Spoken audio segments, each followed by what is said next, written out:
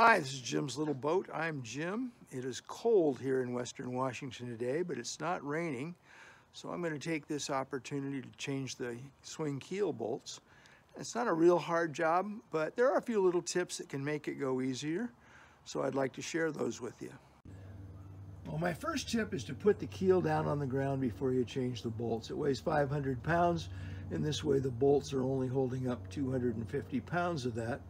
And in my case, I bring the boat home in October and I jack it up in the air on stands and I have plenty of room to work under it. It's just a lot easier than if you're trying to do this on a trailer. And here's another tip. Throw some cardboard down on that rough, cold concrete before you go to work. We're going to need some way to relieve the pressure on the front of the keel before we change the bolts. And I happen to have this motorcycle jack that I use to remove the keel. But I'm going to assume that most of you don't have a motorcycle jack laying around under your boat, so let's see if we can modify a bottle jack to help us out. Here's the little bottle jack I use when I put the uh, boat up on the stands, and I just took a piece of 2 by 3 It's good quality wood, it's not going to split, and I drilled a hole so that it will fit nicely on top of the jack and give me a little bit of balance. Let's go see if we can just take the pressure off the keel we have the jack under the keel, and I'm pretty satisfied with the balance.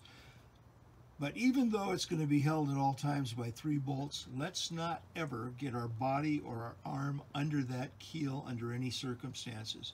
Remember, my liability is limited to what you paid me to watch this video. So we've got the new bolts, we've got the washers, and we've got the blue Loctite. This is not the brand they normally send. It's not Loctite, it's Permatex but it has to be blue.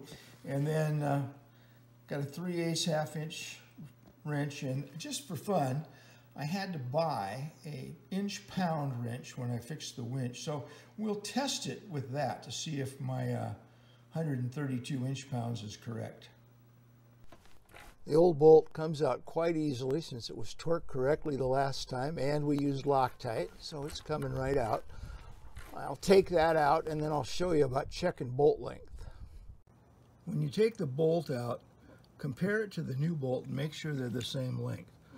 It's not that Catalina Direct screws up on the bolt lengths. It's some of the Catalinas built in the 70s had different locations on the weldments and consequently the bolts sometimes are a bit too long and you have to go cut them down. I've done this before on this boat so I know it's not a problem. But if it's the first time you've done it, carefully check each bolt one at a time as you take them out.